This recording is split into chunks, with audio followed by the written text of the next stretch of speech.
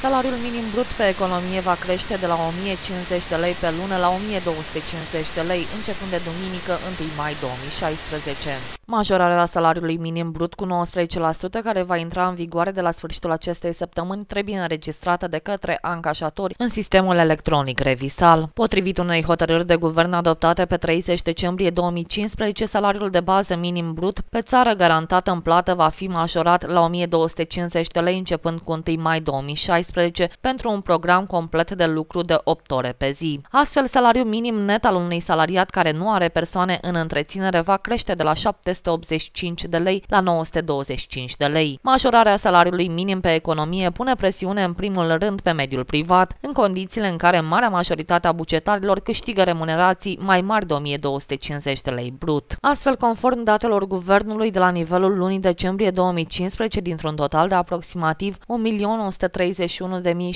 de salariați plătiți cu salariul minim pe economie, doar 39.322